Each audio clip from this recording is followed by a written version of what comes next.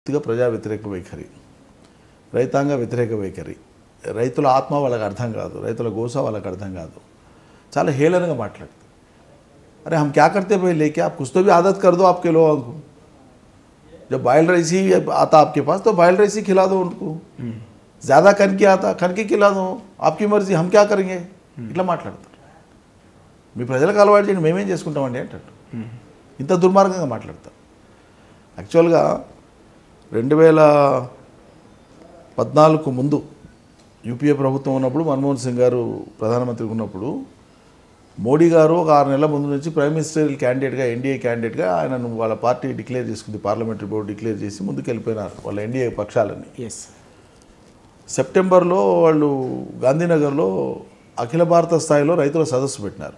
మోడీ గారి నేతృత్వంలో.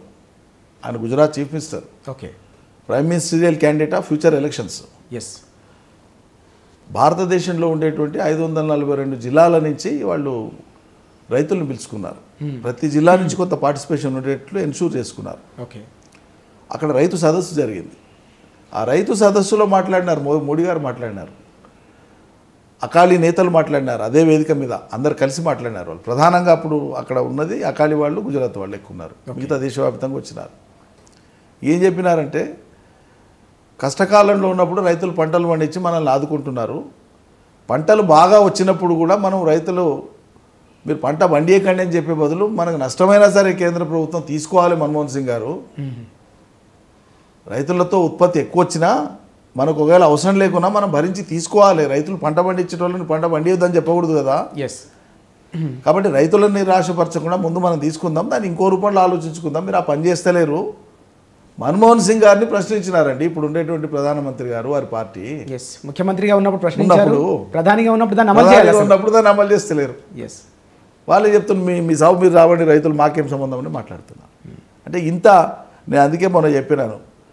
కాంగ్రెస్ పార్టీ అబద్ధాలు చెప్పి తన నిజ వైఖరిని ప్రజల ముందు చూపించుకొని ఏయాభావం కలిగించుకోవడం కోసం వాళ్ళకి నూట ముప్పై ఏళ్ళు పట్టింది.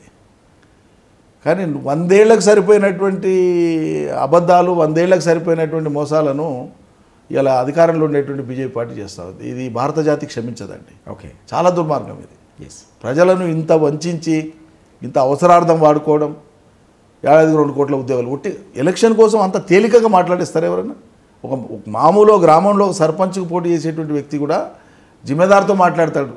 నేను మాట ఇస్తే రేపు పొద్దున ఇది నా వల్ల అవుతుందా కాదా నాకు శక్తి సరిపోతుందా లేదా ఒకటికి రెండు సార్లు ఆలోచన చేసి నా వల్ల కాకపోతే మా ఎమ్మెల్యేకి చెప్పానని ప్రయత్నం చేస్తా అంటాడు మాట ఎందుకైనా మంచిది రేపు పొద్దున మళ్ళా తను తప్పు పట్టకుండా. ఎస్ అరే దేశాన్ని వెళ్ళేటువంటి ప్రధానమంత్రి నోటి నుంచి వస్తుంది మాట రెండు కోట్ల ఉద్యోగాలు ఇస్తామని అలవోకగా చెప్పేస్తాడు. తర్వాత మాట్లాడితే వాళ్ళ పార్టీ అధ్యక్షుడు ఇప్పుడు ఉండేటువంటి హోంమంత్రి.